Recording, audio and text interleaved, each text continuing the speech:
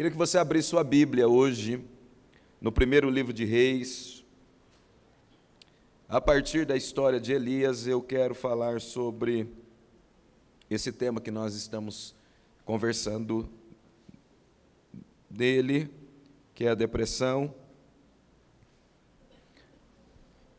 E eu quero começar essa leitura no verso 1 do capítulo 19. 1 Reis, capítulo 19. Nós vamos começar a leitura no verso 1.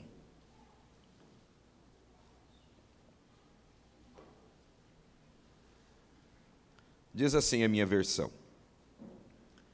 E Acabe fez saber a Jezabel tudo quanto Elias havia feito, e como totalmente matara todos os profetas à espada.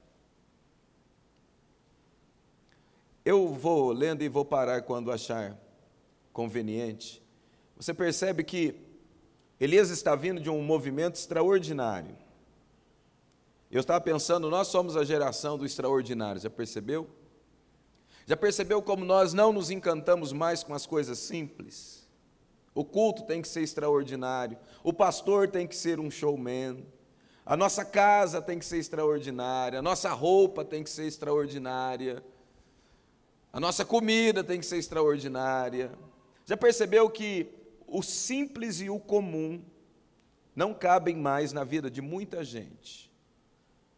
Esses dias eu estava num, num, num culto e de repente houve um silêncio na igreja e eu achei aquilo tão gostoso. E aí o ministrante pegou e disse: Ei, o que, que está acontecendo?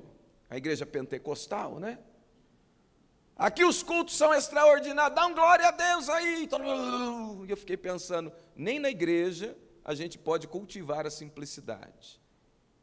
A vida tem exigido tanto, e tanto, e tanto, e tanto, e tanto, e tanto, que quando nós percebemos essa exigência, ela se incorporou em nós, e nós estamos todo momento tendo que dar respostas extraordinárias, às vezes para coisas muito simples. Por que eu estou dizendo isso? Porque Elias está nesse movimento. Porque no capítulo 18, ele está orando e o fogo está caindo. E Elias era um cara extraordinário. Elias era um fenômeno. Quando ele vai desafiar os profetas de Baal, ele zoa dos caras. Os caras se cortam e ele fala: grita mais alto. Quem sabe o Baal está dormindo. E eu fico imaginando, lendo a cena, é, eu fico imaginando a cena, de repente eu imagino Elias, na hora que ele toma a palavra, diz, agora sou eu, uma, um certo ar de superioridade, do, do extraordinário, e ele ora e o fogo cai, e há aquele movimento todo. Nós estivemos lá no Monte Carmelo, é alto pra caramba, pelo menos agora tá. E depois Elias desce um monte e vai lá e mata muita gente, mais de 800 pessoas. Você consegue imaginar a sensação que é de você viver e fazer algo extraordinário? Mas é justamente por causa do extraordinário que a gente adoece. Porque a alma não sabe fazer essa troca. Porque a gente vai vivendo uma série de coisas extraordinárias e de repente a vida muda. Casamento muda, família muda, a igreja muda, o trabalho muda, o dinheiro muda. E às vezes nós não sabemos lidar com essa troca, porque é justamente isso que deprime Elias. Ou pelo menos é justamente isso que começa a manifestar o sintoma.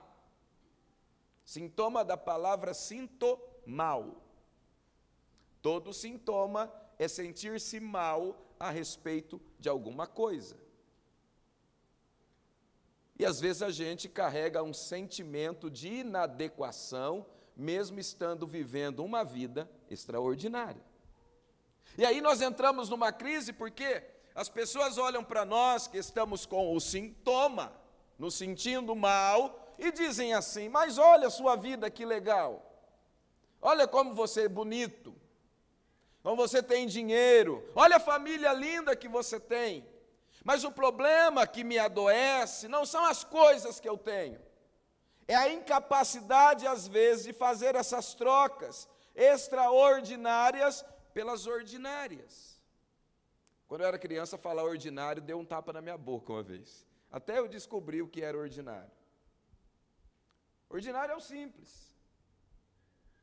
Mas nós percebemos que na nossa vida cristã, inclusive, porque nós estamos aqui tratando dessa espiritualidade que pode curar os nossos males, em especial a temática proposta, que é a depressão, que nada mais é de ser apertado para baixo. Eu tenho que pegar tudo que é meu, e às vezes tudo que é simples, e eu tenho que apertar para baixo para dar lugar ao extraordinário. Eu tenho que ser um profissional excelente, eu tenho que ser um marido excelente, eu tenho que ser um pastor excelente, eu tenho que ser tudo excelente, extraordinário. Eu preciso fazer o fogo cair em tudo. Inclusive na minha vida espiritual, porque eu preciso mostrar que eu sou crente. Religião deprime muita gente. Muita. Vou dizer uma coisa aqui, e talvez você não goste, mas agora já foi, reclama ali. As pessoas mais deprimidas que eu conheço são aquelas que vêm do ambiente religioso, principalmente do ambiente do extraordinário. Então Elias mata esse povo, e aí, olha a mudança que existe. O cara desce dali, eu, às vezes, vou pregar e sabe o que é dia que Deus usa a gente, pastor? Você sabe, tem dia que Deus usa a gente. Eu desço, eu que prego uma mensagem muito simples, eu desço assim, nossa, que imenso, eu estou me sentindo. Agora eu fico imaginando Elias descendo do Monte Carmelo, depois de matar aquele povo e ter aquele sentimento, fiz a obra de Deus, purifiquei essa nação, eu sou mesmo muito bom, bati a meta. E aí ele recebe um recado. Verso 2. Então Jezabel mandou um mensageiro, nem ela vai, ela manda alguém a dizer-lhe: Assim me façam os deuses e outro tanto, se de certo amanhã, a estas horas, não puser a tua vida como a de um deles. Essa é a transição do extraordinário para o ordinário. Você pode olhar para o teu irmão e dizer assim: a cura, pegue na mão dele, você pega na mão dele, a cura para suas demandas emocionais não está no que é extraordinário, mas no ordinário, na simplicidade. Semana passada eu falei aqui do valor do afeto e dos relacionamentos para nos curar. Inclusive no setting psicanalítico, no consultório psicológico, só existe cura dentro do ambiente profissional, entre o paciente e o terapeuta, quando existe transferência. O que é transferência? É o time, o feeling. Olha aqui agora o que nós estamos vendo. Olha a transferência, olha a mudança. Elias está num processo mental positivo. Está tudo dando certo. Sou profeta, faço chover, faço fogo cair do céu, e etc. e tal. A gente olha aqui, a gente olha para isso, parece que esse cara não sofre. Aí ele ouve. Problema da depressão e de todas as crises psicoemocionais não estão relacionadas ao que acontece. Não é o que aconteceu com você que te deprime. Não é o evento que é traumático. O problema é isso aqui, é a interpretação que eu dou ao evento. Não é o que acontece, é como eu interpreto aquilo. Arthur Schopenhauer, um filósofo alemão, ele tem um livro extraordinário, fininho, tem 800 páginas. E ele chama o mundo como vontade de representação. Schopenhauer vai dizer que o mundo é a representação da minha vontade. Ou seja, eu vivo de acordo da como eu interpreto o mundo. E eu desenvolvo minhas vontades a partir dessa interpretação. Eu poderia parafraseá-lo e dizer que a depressão não é causada pelo problema. Não é o impacto que nós chamamos em psicanálise de trauma. Não. O que causa a depressão é a interpretação que você faz da coisa. É a maneira como você interpreta. Porque olha só, como que um homem como Elias, com esse histórico todo que nós conhecemos, ouve um mensageiro, não é nem Jezabel, é um mensageiro. Aqui eu acredito que alguém já teve a experiência de ter contato com um mensageiro. Não é? O cara vem falar, ah, rapaz, você ficou sabendo? Estou sabendo do negócio, blá, blá, blá. Lá em Campinas a gente chama de fofoqueiro. Aqui em Piracicaba a gente vai chamar de mensageiro. Né? que é o mensageiro. Mas veio o cara, e sempre tem um sujeito que ele vem com a interpretação dele e tenta vender isso para nós. O cara vem e diz: Olha, é o seguinte, a Jezabel disse que para você abrir teu olho, que ela vai matar você. Agora, como que alguém, com essa experiência do Elias, faz essa transição? É a maneira, diga comigo, a maneira como eu interpreto a minha vida é que me adoece. Dá uma olhadinha básica assim para ele e diz: Como você está interpretando o seu momento? Eu não era nascido ainda, mas tinha um desenho chamado Hanna-Barbera. Quem assistiu esse desenho? Domingo eu fiz 46. E o Hanna-Barbera tinha um personagem que é a hiena. Lembra da hiena? Hiena Herd. Quem lembra disso? Diga lei. É, você lembra, né? Ó céus, ó vida, ó dor, ó isso, ó aquilo. A Iana Herd é a personificação de um processo mental negativo. Interpreta tudo que acontece a partir de uma ótica negativa. Essa ótica negativa tem sim relação intrínseca com todo o meu contexto existencial. Por isso, a gente, para ser curado, precisa fazer uma releitura da própria história.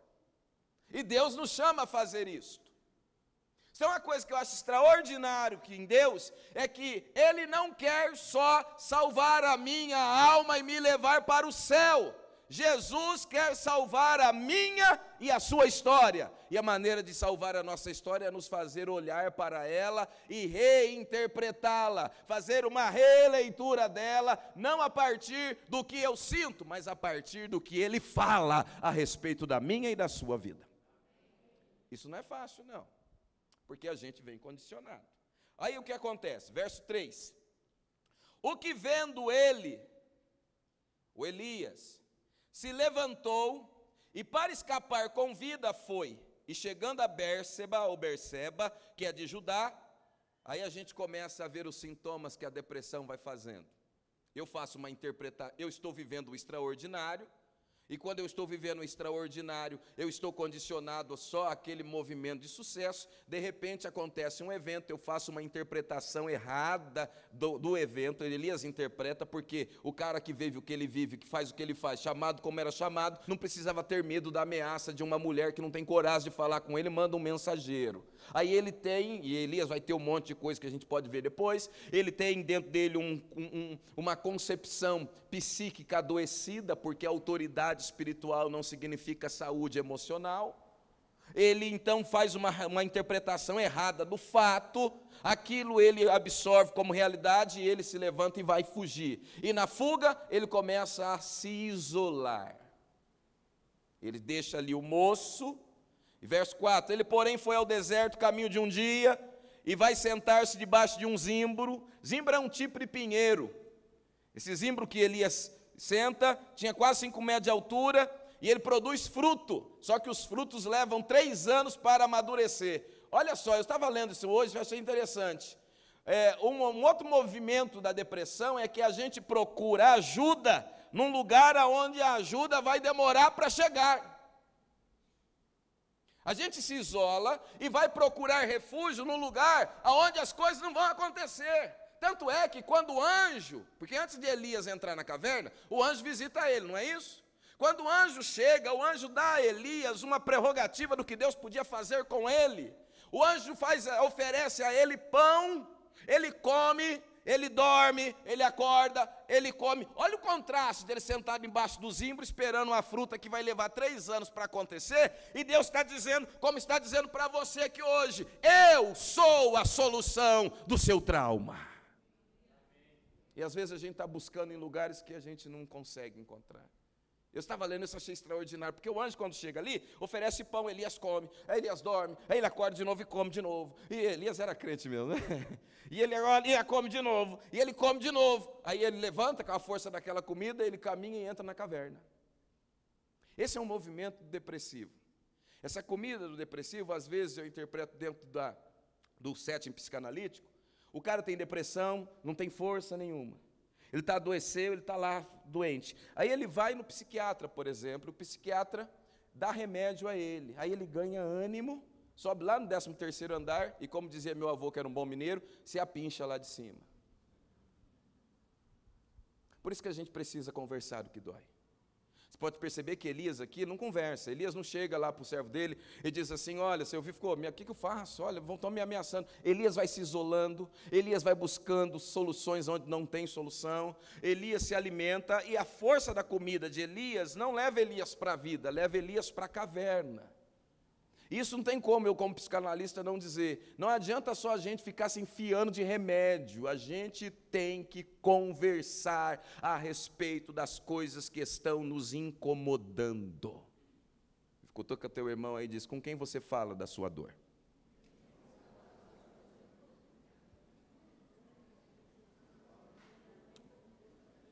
Quem entendeu isso pode dizer amém. Ah, eu só tenho um negócio aqui, eu não falo. Quanto menos você falar. Hoje eu atendi uma pessoa e ela disse assim para mim: Ah, semana passada eu perdi o sono, tomei 20 gotas de Rivotril. Falei, uau! Eu só de falar Rivotril já me dá sono. Aí ela disse assim: aí deu duas horas da manhã, eu tomei um banho, não dormia, tomei mais 20. Estou falando isso. Tomara que ela não assista esse vídeo. Aí deu quatro horas da manhã, Marcelo, falei, você tomou o quê? Mais 20. Ela já habituou a, a sentar debaixo do zimbro. Só hoje, depois de dois anos, que ela resolveu procurar ajuda. E foi falar. E quando ela começou a falar, ela gastou toda a caixa de lenço da minha sala. Porque ela tinha muita coisa que se ela tivesse falado, e não se entupir de remédio. O remédio é importantíssimo. Mas eu estou falando aqui sobre tratamento espiritual. E a gente só trata do espírito e só trata das nossas crises do ponto de vista da espiritualidade quando eu tenho coragem de falar da minha dor, falar do meu trauma, falar do meu abuso, falar das minhas fragilidades, falar dos meus medos sem ter medo de ser quem eu sou de verdade. Elias então ele vai. Ele, porém, foi ao deserto caminho de um dia e foi se sentar debaixo de um zimbro e pediu para si a morte. E disse: Já basta, ó Senhor, agora a minha vida, toma a minha vida, pois eu não sou melhor que os meus pais. E deitou e dormiu debaixo do zimbro. E eis que então um anjo tocou e disse: Levanta e come. E olhou, e eis que à sua cabeceira estava um pão cozido sobre as brasas, e uma botija de água, e comeu e bebeu, e tornou a deitar-se. E o anjo do Senhor tornou segunda vez e o tocou, e disse: Levanta e come, porque te será muito longo o caminho. Olha só que coisa extraordinária.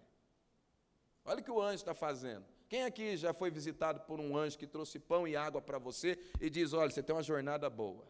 Elias foi. Olha o nível de relacionamento que Elias tinha com Deus. Mas mesmo assim, isso vai doer também. Não importa o seu nível de relacionamento com Deus. Se você não cuidar das suas emoções, você vai chegar no céu doente da alma. Eu fico pensando, eu estava pensando hoje, essa semana eu tive uma semana atípica. Semana foi foi trash. E não compara com o que Elias estava passando. Eu não fiz fogo cair do céu. Eu tomei chuva, não fiz chover. Foi, foi um monte de problema para resolver. Agora eu fico imaginando se eu recebo uma visita do anjo, que ele coloca pão para mim, água e ainda dá uma palavra dessa dizendo: Olha, a tua caminhada é longa, é grande. Meu Deus, eu nem sei dizer como que eu estava, mas sabe o que Elias faz? Levantou-se, pôs e comeu e bebeu, e com a força daquela, daquela comida, caminhou 40 dias e 40 até o Horeb. 40 dias e 40 noites. Ele dormiu? Sim ou não? Olha que comida é essa. E aqui não tinha Rivotril. Dá a impressão, quando a gente lê até aqui, que Elias está restaurado, porque Elias foi no culto na quinta-feira, que o Satiro veio ministrar na comunidade da esperança, ouviu uma palavra e eu, ah, agora vai, e vai, e vai, e ele foi, sabe para onde? Aí ele mergulhou na depressão, porque ele diz assim, ele foi até, e com aquela comida caminhou 40 dias e 40 noites até Oreb, o monte de, olha para onde ele vai, gente, vocês estão acompanhando? Você percebe que à medida que ele vai tendo experiências com Deus, ele também vai mergulhando mais na depressão. Quem conseguiu discernir isso? Ele, ele tem experiência no Carmelo, ele tem experiência embaixo do zimbro, agora ele vai para um destino e diz: Eu sei para onde eu vou, eu vou lá para o monte de Deus, eu vou lá, e lá ele entra na caverna, porque a caverna é o ápice da depressão de Elias. E ali entrou numa caverna e passou a noite ali, e eis que a palavra do Senhor veio a ele, e ele disse: Que fazes aqui, Elias? E ele disse: Tenho sido muito zeloso pelo Senhor dos exércitos, porque os filhos de Israel deixaram a tua aliança, derrubaram teus altares e mataram os teus profetas à espada, e eu fiquei só e buscam a minha vida para me tirarem. Estava pensando sobre esse texto aqui e achando interessante. Por que, que a gente se deprime? Talvez eu estou falando com pessoas que estão ou já passaram pela depressão e aqueles alguns aqui podem estar com medo de estar com ela. E a questão que eu fiquei levantando hoje é por que, que a gente se deprime? Primeiro, diga comigo, primeiro, olhe para quem está do teu lado, porque não conseguimos alcançar as expectativas que nos são impostas em nome do amor. Você sabe o que é expectativa, né? É o espectro de algo, é a espera de algo. Eu estava olhando, como consideração preliminar, a gente se deprime porque a gente cria expectativas sobre nós, e criam expectativas para nós, e essas expectativas não acontecem agora. Não. Agora, segundo Freud, eu e você, nós só estamos repetindo todas as expectativas que colocaram em nós quando nós éramos crianças. Eu, tenho eu tive um paciente que ele, ele, tá, ele, ele, ele me procurou numa ocasião com uma depressão muito severa, uma depressão bipolar. Tem dois tipos de, de depressão: a unipolar, que é a maioria que nós experimentamos, e a bipolar. Ele procurou-me com uma depressão bipolar. E ele estava mesmo muito doido, ele estava.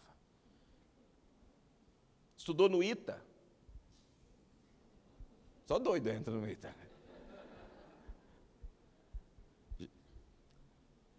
Oriental, japonês, transtorno obsessivo compulsivo, controle absoluto.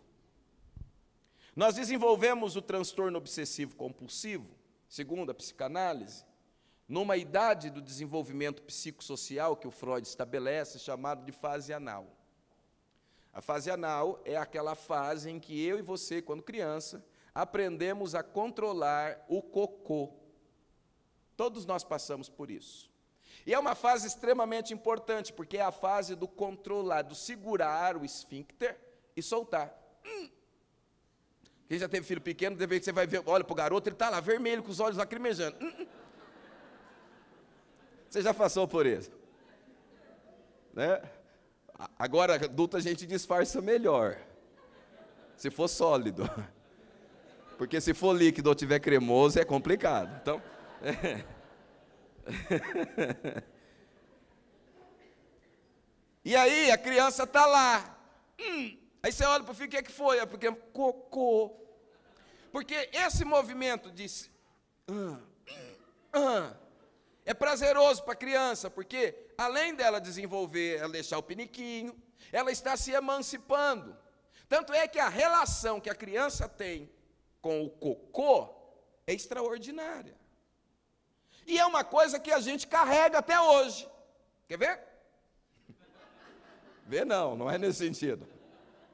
Você nunca dá descarga sem dar uma olhadinha antes. Ninguém levanta. Não, você levanta, você dá. Por quê? Porque isso, isso não tem a ver só com higiene. Acho que nunca ninguém falou isso desse púlpito. Não tem só a ver com, com higiene ou necessidades fisiológicas. Tem a ver com o desenvolvimento da minha personalidade. Por quê? Aonde começa a ficar problemático isso? É quando a mamãe vai lá, você mamãe, que tem bebê, a criança descobriu, saiu, saiu da fralda e fez aquele negócio com o cocô, e o cocô é a grande produção nossa. É a primeira grande produção nossa. Primeira grande produção nossa é um cocô. Por isso que a criança tem aquela coisa, e tem criança que se lambuza com isso. Aí a mãe vai lá e diz assim: Nossa, credo, que fedor! Ah, a criança pensa: minha grande produção para minha mãe. Eu não vou dizer o que é o nome do negócio, mas você entendeu. E aí o que, que vai acontecer? A criança, ela vai desenvolver prisão de ventre. Porque ela não vai querer fazer, porque quando ela faz, os pais, ao invés de acolher o cocô e dizer, nossa, que lindo, que bonito, o pai vai dizer, não, isso é feio, é fedido, credo, trocar. Que já trocou fralda, sabe o que eu estou falando. Né? A criança interpreta aquilo e pensa, é meu. E se é meu e não gostam, não gostam de mim. Então, hum. E aí, o que, que vai acontecer com essa criança lá na fase, quando ele se torna um adulto? Ou ele vai ser miserável, ou ele vai desenvolver transtornos de controle, que são os transtornos obsessivos compulsivos. Ele é controlador, numa psicopatia, esse sujeito vai ser manipulador, já que ele não pode controlar, já que ele tem que controlar o dele, ele passa a controlar o outro e passa a ser prazeroso. Olha que coisa doida isso. Aí esse garoto, o pai desse garoto dizia para ele: Filho meu, não usa borracha, porque não pode errar na escola, porque não pode errar na vida. O garoto cresceu, ele disse: Eu estudei, nunca reprovou, nunca tirou menos de, de 10, o máximo, mínimo que ele tirou foi 9,5. Entrou no ITA, estudou, foi engenheiro, trabalhou, ganha bem, até ele ficar adulto e cometer um erro grave, segundo ele, que não foi tão grave. Ele se desconstruiu, porque havia uma expectativa sobre a vida dele imposta pelos pais, e esta expectativa que foi imposta pelos pais, e todo pai faz isso, e uma grande maneira da gente destruir desculpe, os nossos filhos, é dizer para eles: eu dou a você, e eu quero dar a você, e eu quero que você tenha tudo que eu não tive. Quando eu digo isso, eu estou carregado de ótimas intenções, mas do ponto de vista psíquico, eu não estou querendo dar a ele, eu estou querendo dar a mim. A interpretação que o sujeito faz disso é de que eu não quero isso, mas já que é oferta de alguém que eu devo amar, eu então assemelho, eu assimilo aquela expectativa do outro como sendo minha. Só que eu passo a vida toda carregando um fardo e uma raiva, às vezes, do próprio pai e da mãe, porque eu estou vivendo uma situação que eu não quero. Quando eu não sei fazer essa troca, porque a expectativa do pai é extraordinária, mas a minha vida e a minha estrutura é ordinária. Eu não sei fazer essa troca, eu adoeço e eu me deprimo, ou eu me rebelo. Eu estou falando para algumas pessoas aqui que sabem muito bem o que eu estou falando. É, eu deprimo. Ele chegou lá deprimido porque ele errou. Ele não podia errar. Ele criou uma expectativa. Sabe o que eu acho extraordinário com Deus? É que Deus não cria expectativas a nosso respeito. Vire para o teu irmão e diga: Deus não cria expectativa a teu respeito. Olhe bem para ele e diga: Deus não se frustra com você, nem se espanta com você. Ele aceita você do jeito que você é. Eu nunca digo, mas eu parei de dizer para minhas filhas, ah, eu quero te dar tudo que eu não. Não, eu não quero dar nada, não. Eu quero que ela viva, que elas tenham essa experiência, ainda que sejam frustrantes, porque é na frustração, às vezes, que a gente se cura. A gente se deprime por isso, porque cria expectativas. Por que eu usei a questão do amor? Porque é em casa, diga comigo, é em casa. Não, diga para quem está do teu lado, diga é na tua casa. que você corre o risco de ficar doente. Jacques Lacan vai dizer que a loucura começa em família.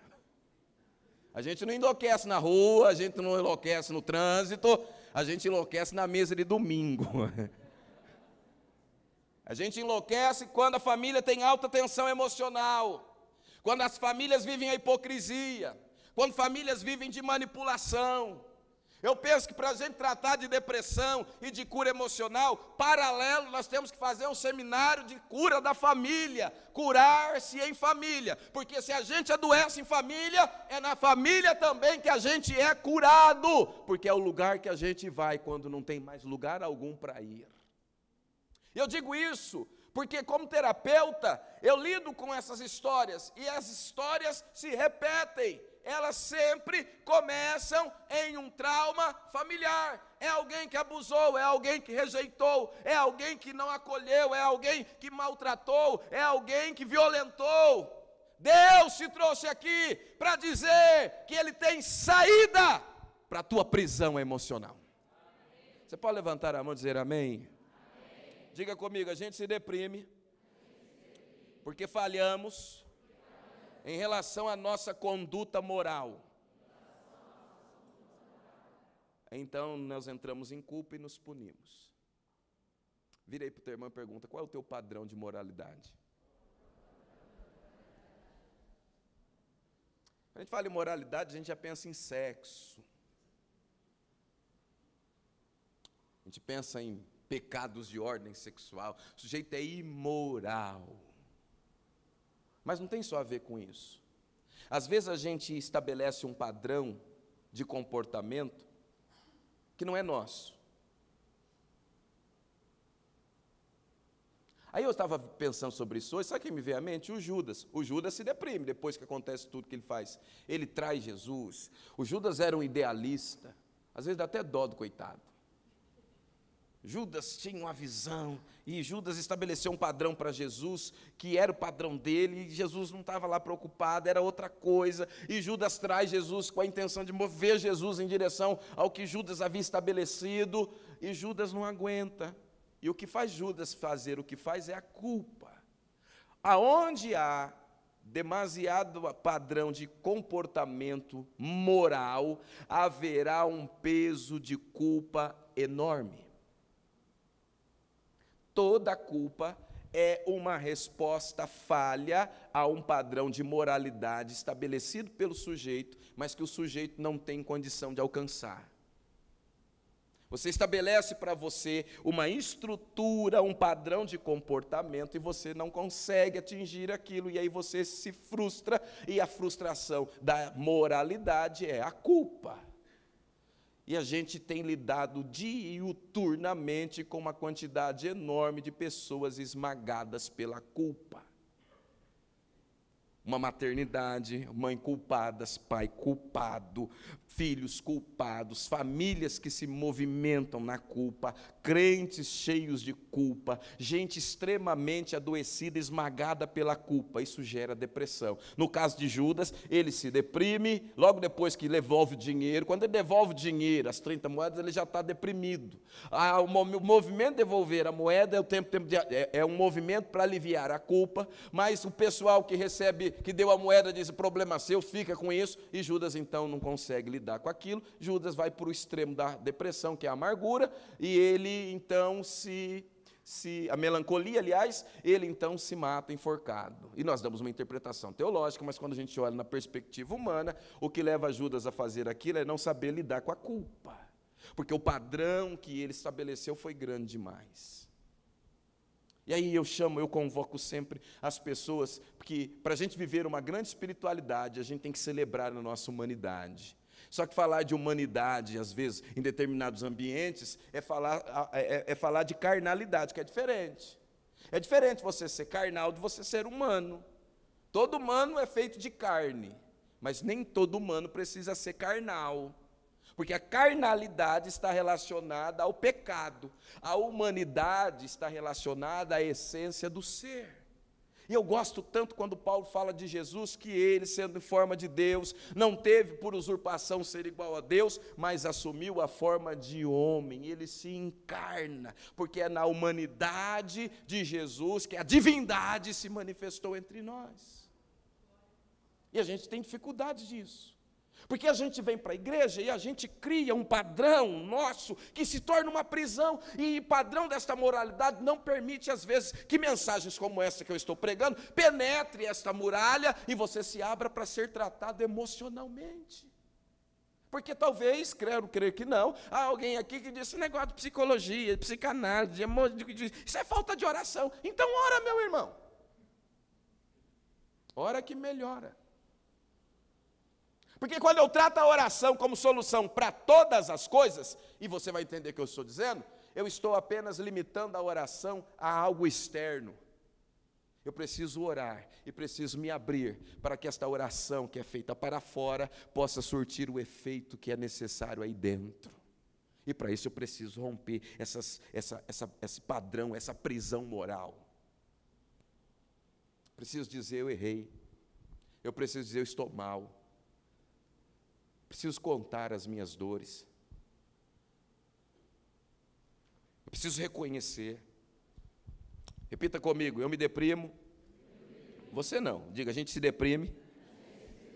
Porque religiosidade, sem a experiência do encontro com Deus, me fragiliza para os embates da vida. Pega na mão dele e diz assim: religiosidade sem experiência do encontro com Deus, ao invés de fortalecer, te fragiliza quando a vida bate pesado. Elias é o exemplo disso. Olha o poder que Elias tem. Eu fico olhando para Elias em numa, numa análise psicoemocional. Elias era um cara religiosão. Elias ele era, ele era um arquétipo, segundo Jung. Ele era o arquétipo da religião institucional. Elias não era só um profeta. Quando você olha para a história e as conversas de Elias, o Elias ele está evocando como representante, único representante da religião de Israel. Lá na caverna, quando Deus fala, o que você está fazendo aqui? Ele diz, eu fiquei só, eu sou zeloso, eu sou o cara, eu sou o crente, não tem crente aqui. Tem crente aqui não. Eu. Eu sou. Vê quantas vezes ele fala, eu sou zeloso, eu fiquei só, eu, eu, eu, eu. Religião é a religião, o eu é adepto da religião, eu oro.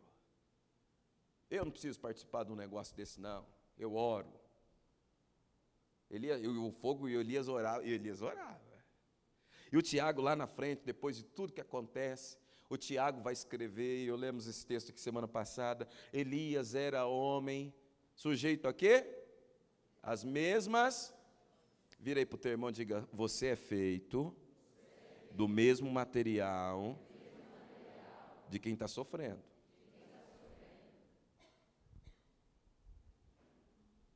Por isso a gente não pode olhar para a dor do outro e se sentir melhor porque eu não tenho dor. Aquele que está em pé, diz Paulo, cuide para que não caia. Não é só ficar caído, não. Cuide para que não caia nas ciladas existenciais, porque todas as coisas sucedem ao justo e ao injusto.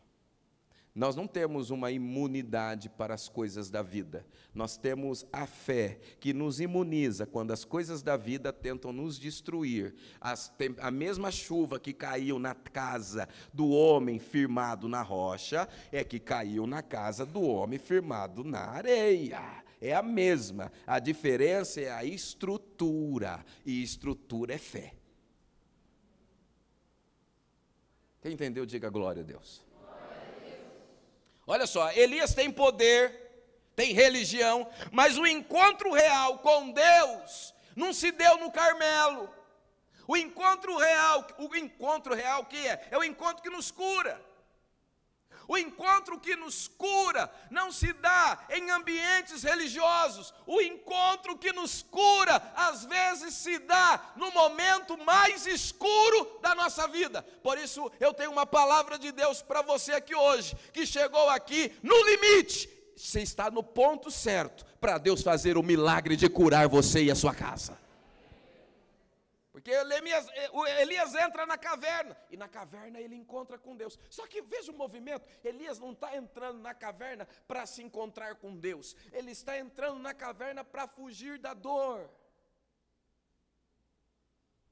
E se tem uma coisa que você que pode estar passando por qualquer crise emocional, seja depressão, ansiedade, síndrome do pânico, transtorno de qualquer natureza, eu não sei. A única coisa que eu sei é que quanto mais você fugir do que você está vivendo, mais distante você fica da sua cura. Elias entra na caverna. Elias não sabia disso, mas precisou passar por isso para a gente aprender. Eu poder dizer aqui: Elias está correndo para a caverna mas ele está correndo para fugir de Jezabel, mas ele está correndo para enfrentar a própria dor.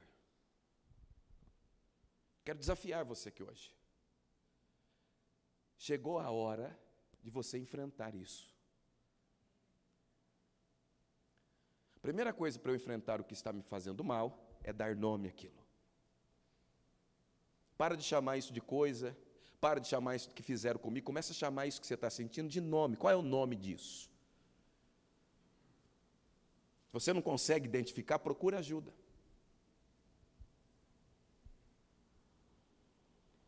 Na caverna, Elias, cheio de religião, se enfrenta e é curado. Tanto é curado que quando ele sai, Deus o arrebata. Ele é tomado por Deus num carro de fogo. Jonas tinha ministério, mas se encontra com Deus dentro do peixe.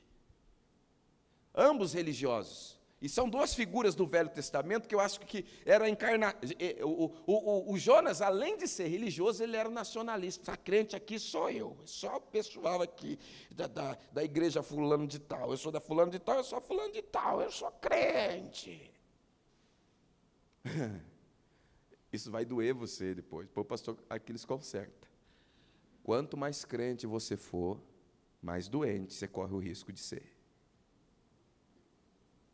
Quanto mais cristão você for, mais saudável você pode se tornar. Estou com a tua irmã, diga, não seja crente, seja cristão, seja leve. Qual que é a essência do cristianismo?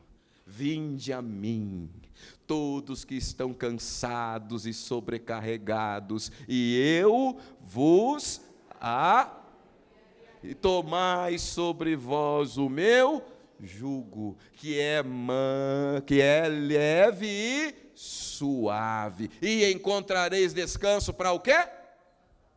Psique. E encontrareis descanso para a vossa psique, que é a palavra alma, grego no Novo Testamento a alma é psique, de psicologia. Ou Jesus está dizendo: olha, andar comigo faz bem para a cabeça. Vira para o teu irmão e diga: se você está doido, é que você não está andando com Cristo. Irmão, se andar com Cristo ficou pesado, não é com Cristo que você está andando, porque andar com Cristo é leve. A luta pode ser pesada, mas quando Cristo está, a gente tira de letra. Pá, pá, bum, e é gol. O que, que eu preciso fazer? Eu preciso fazer uma releitura da minha vida. É isso. Diga comigo. A depressão chega quando eu não construo a minha identidade e me movimento na vida pelo que penso ser e não pelo que eu sou. Vira para o outro, esse não aguenta mais, vira para o outro e diz assim: Quem é você? Pergunta assim, pega na mão dele, pergunta assim para ele: Olha, hoje, 25 de janeiro de 2018, aperta a mão dele, você é você ou é quem você se tornou? Hoje, você é você ou você é produto de uma série de acontecimentos da tua vida que você não soube lidar, e hoje, quando você olha para você, você está enfrentando toda essa angústia, porque você deixou de ser você e se tornou aquilo que aconteceu com você. Estava lendo hoje sobre Moisés, Moisés era esse cara. Quando Moisés encontra com Deus lá na sarça, Moisés estava numa crise de identidade absurda. Ele não era quem ele era, ele era quem havia se tornado. E Moisés tem uma história de, de abandono. Nós entendemos que Deus estava naquilo tudo, mas quando você olha para uma criança, Moisés não está como criança interpretando, ah, minha mãe está cumprindo um propósito de Deus e Deus que está tudo isso. Não, Moisés está vivendo a vida. Ele é colocado, ele sentiu a rejeição, ele é adotado. Ele é um hebreu, mas que cresce como egípcio. E ele, como egípcio, mas ele não é egípcio, ele é hebreu e ele sofre porque o povo, ele entra em crise, ele mata um, ele foge e ele vai ser refém do sogro. Refém do sogro. Oh, glória a Deus. E ele está zanzando no deserto, cuidando das ovelhas, e aquela coisa toda: quem sou eu? Quem sou eu? Quem... Tanto é que essa é a pergunta que ele faz para Deus: quem sou eu? E Deus é sensacional. Deus fala: não interessa, eu certamente irei na tua frente. Eu vou na tua frente. Importante não é quem você é, importante é quem eu sou em você, porque eu não posso mudar a minha história mas Deus pode dar um significado novo para ela. Diga isso para o teu irmão: você não pode mudar o que aconteceu na sua vida. Você não pode mudar de família, você não pode mudar de pai, você não pode mudar de mãe, não pode mudar daquele tio, não pode mudar aquele avô, não pode mudar aquele professor, não pode, não. Essas pessoas passaram e nos marcaram, mas nessa noite eu posso dizer: Deus está tudo nas tuas mãos e Deus tem o poder de ressignificar a sua história. E quando eu entendo isso, eu entro em processo de cura, porque Moisés sai dali transformado, e ele transformado, ele transforma a realidade daquele povo escravizado no Egito, porque quando eu permito que Deus me cure, eu serei terapêutico aonde eu chegar. Eu estou falando com pessoas aqui que serão remédios nas suas próprias famílias. Levante a mão e diga: Me faz remédio, Senhor. Depressão é produto direto da ansiedade. Onde tem ansiedade, que a ansiedade não é tratada, vai haver, vai haver depressão. Há três tipos de depressão na visão psicanalítica: a realística, diga comigo, realística. Diga assim: medo de algo externo, de algo real. Essa ansiedade, é todos nós sentimos ela. É comum, todo mundo sente um nível de ansiedade. Você vai fazer alguma coisa, você vai fazer uma viagem, você tem uma entrevista de emprego. É algo externo, é algo que você pode mensurar, é apalpar, você pode descrever. É a ansiedade realística. Nós temos a ansiedade neurótica, diga, neurótica. Olhe para o teu irmão e fala, você já teve dessa também. É. Eu não vou arriscar porque nós somos muitos aqui, mas eu acredito que 80% de todos nós aqui somos neuróticos. É. Vira para o teu irmão e diga: Você é neurótico. É. Diga assim para ele: Porque se você não for neurótico, você é psicótico.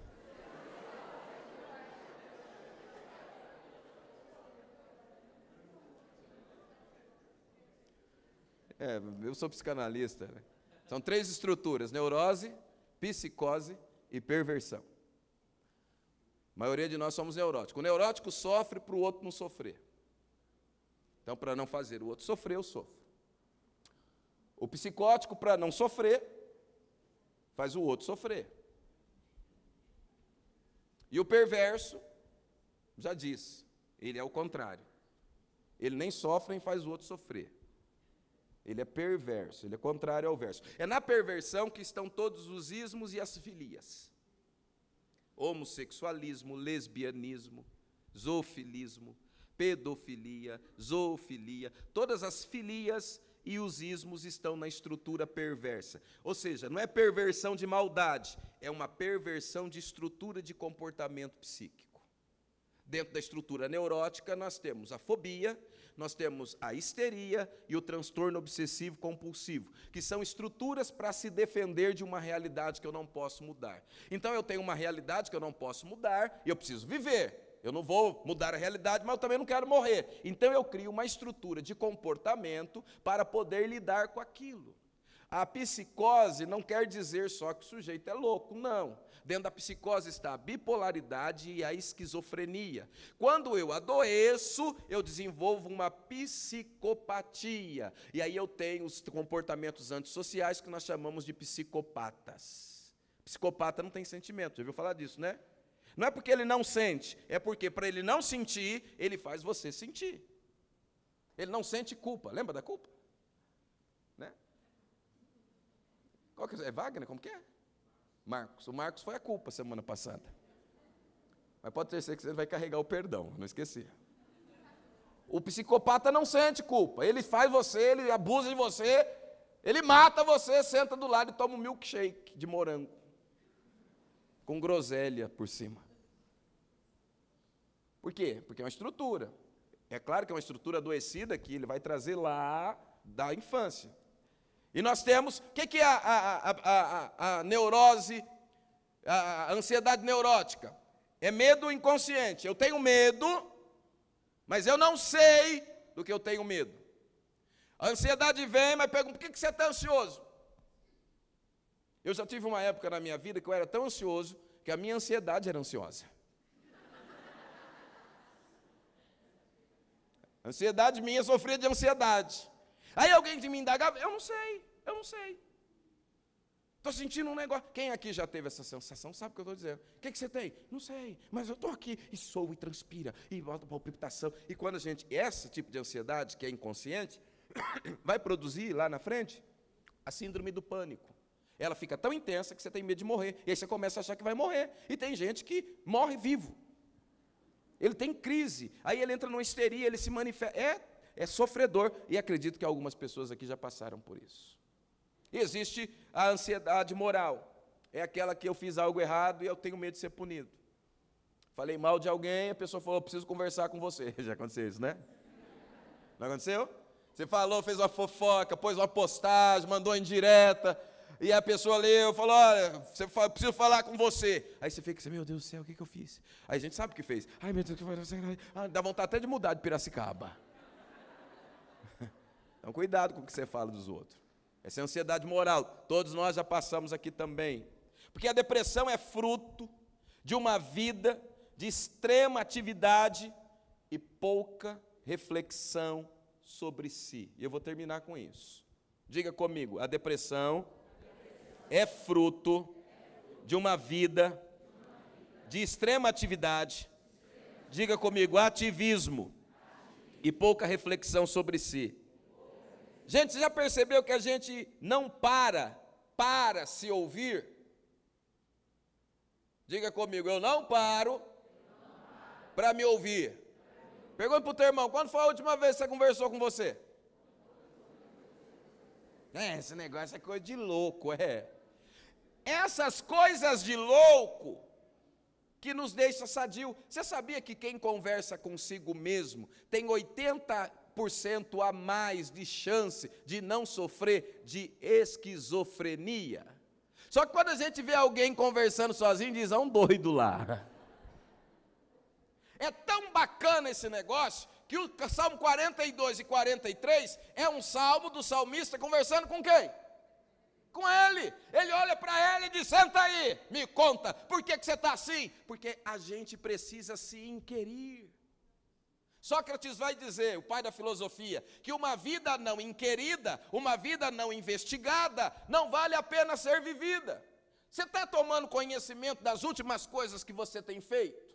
Você pergunta para você como anda você? Não é aquela música do Roberto Carlos, não. Você para para sentar e para conversar, porque quando a gente fica quieto, a gente liga a televisão, bota um fone de ouvido, vai para o Spotify, vai assistir a pregação, vai não sei fazer o quê, e se houver um silêncio, a gente enlouquece, porque nós temos medo de ouvir a nosso respeito por nós mesmos. Mas aí eu acho interessante é que quando a gente quer saber de alguma coisa, eu chego em você, qual é o seu nome, querida? A Letícia, eu chego para a Letícia e falo, Letícia, o que, que você acha de mim? E daí? A gente prefere a opinião do outro, mas a gente não se inquere. Aí eu estava lendo esse texto hoje, aí me veio uma coisa ao coração: Lamentações. Jeremias escreve um livro chamado Lamentações. É um livro triste, não é? Lamentações. E ele diz assim: olha, no verso 3, verso 26. Bom é ter esperança. Isso é legal. E olha o que ele diz: e aguardar em silêncio a salvação do Senhor. Aí ele diz no verso 27: Bom é para o homem suportar o jugo na sua mocidade. E aí no verso 28 ele fecha o verso dizendo assim: Assente-se solitário. Quem aqui gosta de ficar sozinho? Sim, levanta bem a mão assim. Diga, eu gosto de ficar sozinho. Mas a maioria das pessoas não gosta. E olha o que a Bíblia está dizendo: assente-se solitário e fique em silêncio existe uma salvação que não vem da multidão de barulho, que não vem de um show, que não vem de uma reunião de oração, inclusive. Existe um tipo de saúde, de salvação, que vem da quietude, daquele momento em que eu tenho que me aquietar e ficar comigo. Só que hoje falar e ficar quieto fala inquietude e fala, você tem que ser proativo, você está sempre tendo que fazer alguma coisa. E a gente está numa extrema atividade, e essa atividade de fazer tanta coisa, tanta, tanta, tanta, tanta, tanta, tanta, tanta coisa, nos adoece. Adoece, gente. Uma outra coisa interessante, que depressão é fruto de solidão. Diga comigo, depressão é fruto de solidão existencial. Olha o que Elias, eu vou terminar agora. Olha o que Elias está dizendo. Tenho sido zeloso pelo Senhor. Os filhos de Israel deixaram a tua aliança, derrubaram teus altares, mataram teus profetas. Eu fiquei só. E ainda por cima estão querendo buscar, tirar a minha vida. Aí eu estava pensando aqui hoje. Esse tipo de solidão não é a ausência de alguém. Não é a ausência de alguém. Esse tipo de solidão é a não presença do outro na minha dor e nas tragédias da minha vida. Porque às vezes a pessoa está do teu lado, mas ela não tem ideia do que está acontecendo dentro de você. Eu não quero parecer carnal, mas a Legião Urbana tem uma música e às vezes eu ouço a música, porque ela é interessante. Ela começa assim: Ela se jogou da janela do quinto andar. Vocês já ouviram essa música? Eu não lembro o nome dela agora, mas é interessante. Essa música fala de construções de relacionamentos solitários. Há uma coisa interessante, uma versão, um verso dessa música que diz assim: parece cocaína, mas é só tristeza. O que, que, essa, o que, que essa música tem a ver com a nossa reunião aqui?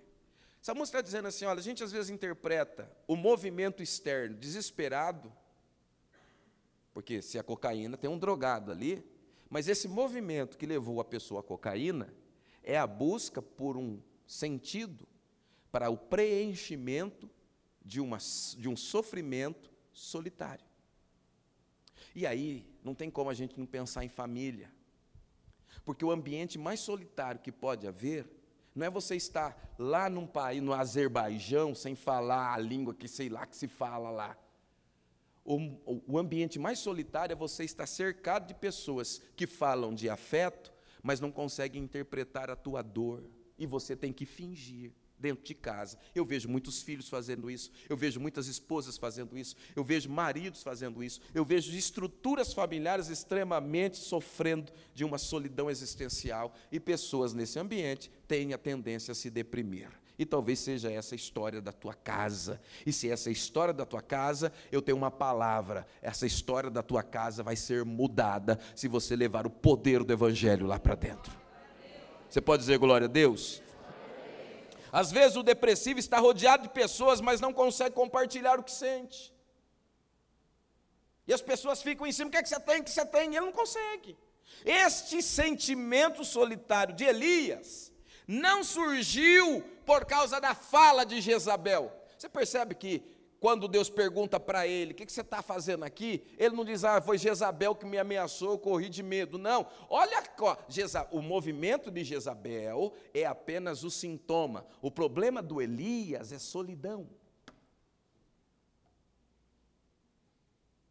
Isso que você está reclamando não é o seu problema, é seu sintoma.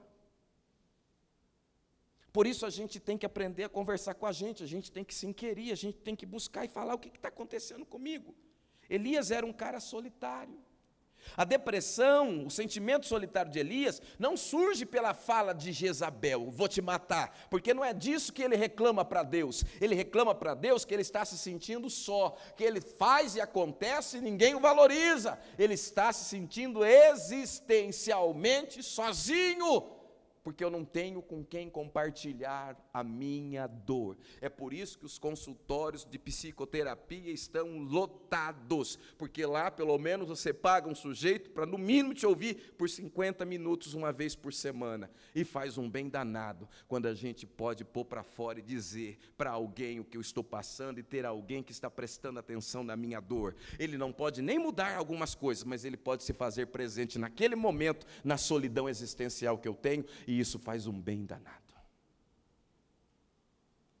Por isso está na hora de você começar a falar o que está acontecendo com você. Quer ser curado de qualquer crise? Comece a falar da crise. Comece a falar do que te incomoda. Enfrente a depressão. Como que eu enfrento? Diga para o teu irmão, mais uma. Aceite a ajuda de Deus, mesmo quando o formato não for religioso. Pega na mão dele e diga: aceite a ajuda de Deus, mesmo que o formato não seja religioso. Sabe por quê, pastor Aquiles? Porque às vezes o milagre é instantâneo. Às vezes a pessoa vem ao altar, você ora, pum, saiu curado. Mas às vezes o milagre é construído. Bartimeu falou: Davi, Jesus, filho de Davi, tem misericórdia de mim? O que, que você quer que eu te faça? Eu quero ver. Vê, tua fé te salvou. Isso voltou a ver. Aí chega um outro cego e diz: Senhor, quero ver, quer? Um cospe no chão, passa saliva no rosto, faz um barrinho e vai agora. Aí Jesus tinha um senso de humor sensacional. Jesus pega, pede para um cego atravessar a cidade para se lavar no tanque de Siloé, lá do outro lado. Eu estou aqui na igreja e vai se lavar lá no tanque da água lá da Exalc. Ah, tudo bem para quem enxerga, mas para quem é cego, é fácil ou é difícil? O cego fica imaginando, o cego vai. E o, e o mais legal é que o cego, na primeira lavada, não enxerga direito. Ele volta. E aí, você está enxergando? Não, estou vendo um homem como árvore. Então vai de novo. Pega na mão teu irmão, rapadura é doce. Às vezes, Deus nos ministra através de anjos. Às vezes, Deus nos ministra através do divã de um profissional. Às vezes Deus nos ministra numa vigília do poder. Às vezes Deus nos ministra no ouvido de alguém que se interessa pela nossa dor. Aceite a ajuda que Deus está propondo a você. Às vezes ela não vem numa manifestação extraordinária. Às vezes é uma construção que pode levar dias, meses e até anos mas aquele que começou a boa obra, ele vai terminar ela. Você pode dizer glória a Deus? Diga para o teu irmão aí, entenda que Deus está na sua depressão. Entenda que Deus está na tua dor. Elias entra na caverna. Deus não estava na caverna. Deus não estava na caverna. Deus estava com Elias. Porque Deus não habita coisas, Deus habita pessoas. Às vezes eu li, ah, cheguei, Elias chegou na caverna, Deus já estava lá. Não, eu estava lendo hoje, não. Deus está com Elias em todo o processo. É que quando Elias chega na caverna e se encurrala, Deus chega para Elias e fala: O que você está fazendo aqui? O que, é que nós viemos fazer aqui? O que, é que você está fazendo aqui, Elias? Não é que Deus estava lá, Deus estava nele. Deus está em você. Pastor, mas eu estou um lixo, eu estou me sentindo mal, meu momento é doloroso, a coisa está profunda, eu estou numa escuridão, eu estou na caverna. Mesmo assim, Deus está te abraçando e dizendo: O que, que você está fazendo aqui, meu filho? E se Ele está fazendo esta pergunta a você, é porque Ele tem saída para você. Você pode levantar a mão e dizer: Glória a Deus. Construa, diga para o teu irmão: construa a sua cura a partir da sua própria experiência com Deus. Porque Deus, quando abraça o Elias, já em Elias e no Elias, Deus fala: Elias, vamos ali na porta da caverna. E quando Elias sai na porta da caverna, a Bíblia diz que o Senhor vem. O Deus que está em você é o Deus que vem a você também através de manifestações que vão possibilitar a você o discernimento para encontrar o teu milagre. Primeiro vem um terremoto, e vem um fogo, e vem um vento, e Elias olha o fogo e diz: O Senhor não está. Elias olha o, o vento, o Senhor não está. Olha o terremoto, não está. Aí diz a Bíblia que vem uma brisa suave. E Elias então entra na brisa. Eu estava lendo isso e, e dizendo, e volto a terminar, volto, termino dizendo que eu comecei falando. Nós não somos curados pelo extraordinário.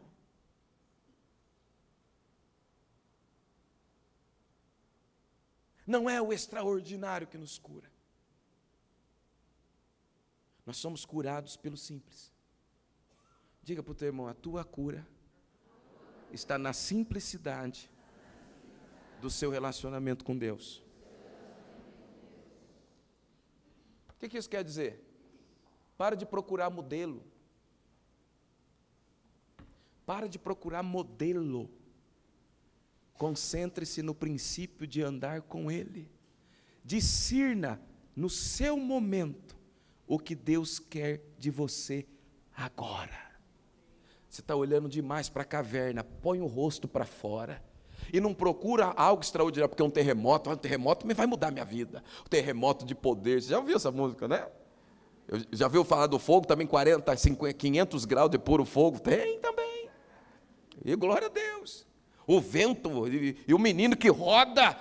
Mas às vezes é na simplicidade é numa reunião muito simples, é num encontro muito simples, é numa roda de conversa que Deus tira a escuridão da minha alma e me comissiona para algo maior do que eu vivia antes da depressão e da dor.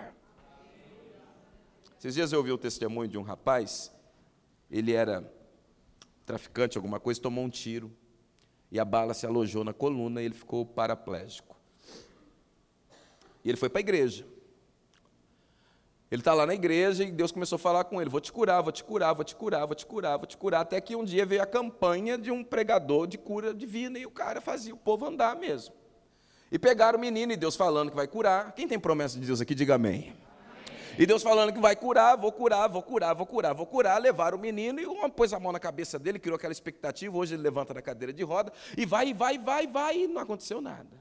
O menino voltou para casa, o povo ficou frustrado, não curou, mas Deus não falou. E passou um ano, menino na cadeira de rodas, perna atrofiou. Um dia a família dele saiu e deixou ele sozinho em casa. Ele está sentado lá e ele conta que de repente uma barata voadora entrou. Ele pegou o chinelo, levantou e matou a barata. Só quando ele matou a barata, ele percebeu que Deus havia curado ele naquele momento. Vire para o teu irmão e diga assim: às vezes, o que vai curar você é uma barata voadora. Vamos ficar de pé?